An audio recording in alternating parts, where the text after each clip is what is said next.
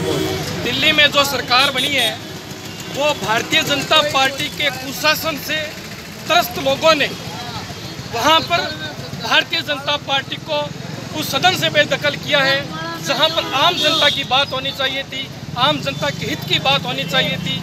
उस कुशासन से मुक्ति पाने के लिए आम आदमी पार्टी को, वहाँ की आम आदमी, जो आम आदमी है, उन्होंने उस सरकार को बनाया है। और ये सरकार, जो वादे किए आम आदमी पार्टी ने वो बिल्कुल आम जनता के हित में है।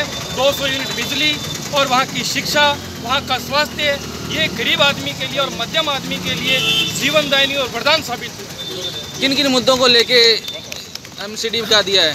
जो भारतीय जनता पार्टी 15 साल से एमसीडी में काबिज थी और वो कचरे का ढेर जो उन्होंने वहाँ बनाया था उस कचरे के ढेर को साफ़ करने के लिए वहाँ की जनता ने आम आदमी पार्टी को चुना है और उस कुशासन से मुक्ति पाने के लिए उन्होंने दस गारंटी योजना के बताई थी कौन कौन सी थी वो जो गारंटी आम आदमी पार्टी की शपथ पत्र के अंदर जारी की गई है आम आदमी पार्टी काम के नाम से सत्ता में पहुँची है काम के नाम पे वो अ, सत्ता में बनी रहेगी और आगामी जो भी चुनाव होंगे उसमें भी आम आम आदमी पार्टी को वहाँ की जनता ही। बहुमत और सहमत है ऐसे प्यार करेगी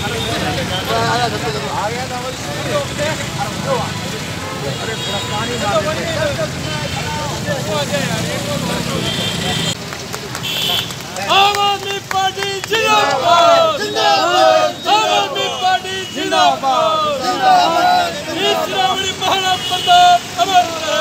अमर रहे अमर रहे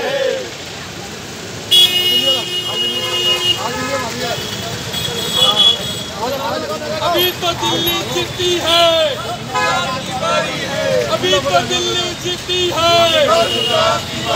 दिल्ली जीती है। अभी तो दिल्ली जीती है। अभी तो दिल्ली जीती है।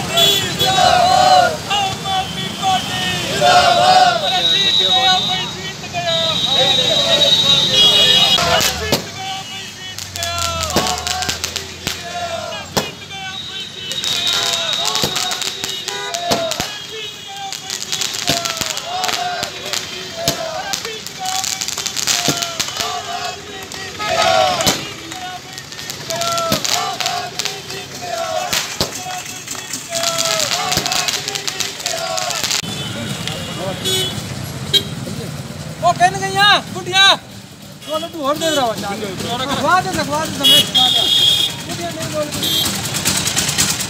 ओ गुडिया सारे नहीं उतरन कॉल हो गई आजा बेटी जी आओ आओ ले आर ले आर ले फोटो ले आओ आओ आओ दांत अरे दो आ चेस करो अरे बोलो दांत दे दियो